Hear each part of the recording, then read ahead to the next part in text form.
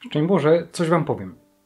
Wszyscy, którzy prowadzą zdrowy tryb życia, a z religią nie mają wiele do czynienia, są bardziej konsekwentni w swoich postanowieniach niż niejeden wierzący. Zwłaszcza zwracam uwagę na tych, którzy trzymają się diety. Dieta z greckiego oznacza styl życia. Właśnie ci, którzy właściwie pojmują to słowo, zmieniają nie tylko swoje nawyki, ale cały styl życia. Dzisiejsza Ewangelia jest dokładnie tą samą, którą słyszeliśmy w środę popielcową. Wtedy na początku Wielkiego Postu podejmowaliśmy jakieś wyzwanie, wyrzeczenie, które pragnęliśmy zrealizować. Ile z niego zostało dzisiaj? Odpowiedzcie sobie sami, ja nie będę was z tego spowiadał. Raczej przypomnę, że chrześcijaństwo jest także stylem życia odmiennym od życia bez Boga.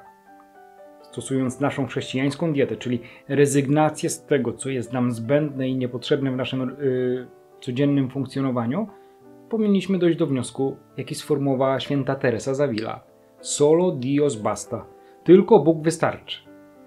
W poniedziałek miałem okazję posłuchać aktora, Lecha Dyblika, który dał świadectwo, że jest wolny w swoim życiu od wielu luksusów.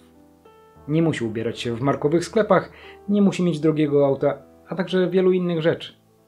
Cieszy się wszystkim, co otrzymuje.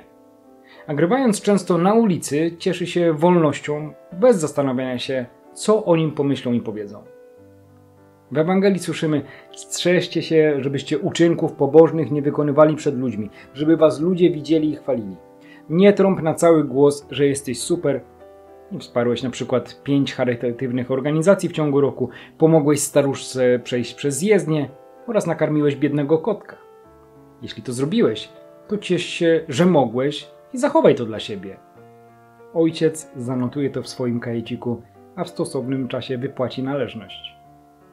Wszystko, co robimy dla siebie i innych, y, powinno być skromnym wypełnianiem naszych zobowiązań, bo tylko w ten sposób nasza ofiara miła jest Panu. Wszystko, co jest na pokaz, przyczynia się do naszej pychy. Jeśli ona nie jest pod kontrolą, wtedy robi pustkę w naszych sercach, a także ludzi, którzy nas otaczają. Jezus nie po to modlił się na osobności, by pokazać jedność z Ojcem – Robił to dlatego, żeby pokazać, iż wiara, nadzieja i miłość są ważniejsze od władzy, pieniędzy i prestiżu.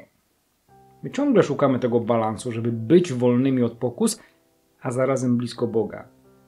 Praca nad sobą, post i umartwienie nie są w modzie w aktualnym świecie. Lepiej wypaść efektownie, nawet skusić się o tanie efekciarstwo, żeby nas zauważono i pochwalono. Nie zapominajmy, że wielkie czyny wymagają dwóch rzeczy wielu wyrzeczeń i uczciwej pracy. I być może na nasze szczęście często ta praca przez ludzi jest niedoceniana, ale dobrze widziana jest przez Ojca.